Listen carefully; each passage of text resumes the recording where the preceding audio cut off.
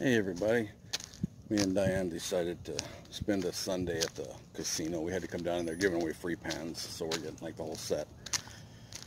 It's it's a new casino by uh, Apache Gold.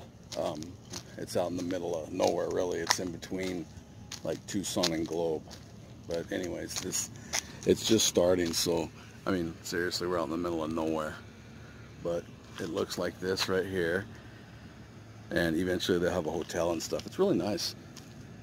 But uh, we're gonna go in here and see what we can see what we can do. So we'll catch you guys in a while.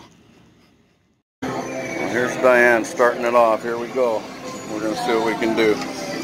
You gonna hit the big one there? Huh? I just hit. She's playing some. Oh wow. She, she's playing some for Dylan here. So all right, we'll catch you guys in a while. Okay, guys, we just got done in the casino. It's, uh, what's it called? Apache Sky is what it's called. And we've been in a couple times. We'll win a little bit of money, put it back in. We usually come out not not bringing anything with us. Well, today we did all right, right? We were going to cash out. I had a, a small uh, slip that I was going to go cash out. And uh, Diane was, was talking to a relative of hers, and she says, well, I'll be right there. So I was I was getting ready to cash it in. And I thought, you know what, I'll throw it in this machine. Well, I threw it in there, and then when she came back, we were taking turns hitting on it, and and we hit one, and it was like it was a penny machine.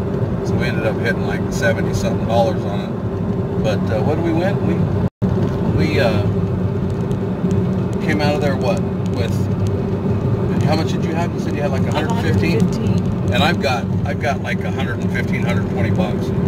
So we actually did all right. You know, I think I took 80 out, and she took 20, so we did all right. Or no, 40. So I don't know. But anyways, we we made a little bit of money. So if you guys are ever out and about, that Apache Sky is a pretty good place. It's real it's real clean and nice. Uh, it's kind of small. It's not as big as the others, but it's in between um, Globe and Tucson.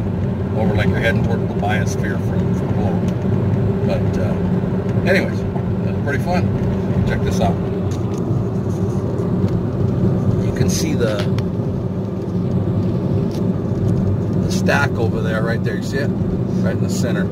That's the uh, smelter over in, uh, I think they call it the Hayden Hayden smelter. Asarco owns it. But anyways, real pretty out here. All right, guys. Well, you have a good one, and we will chat with you later.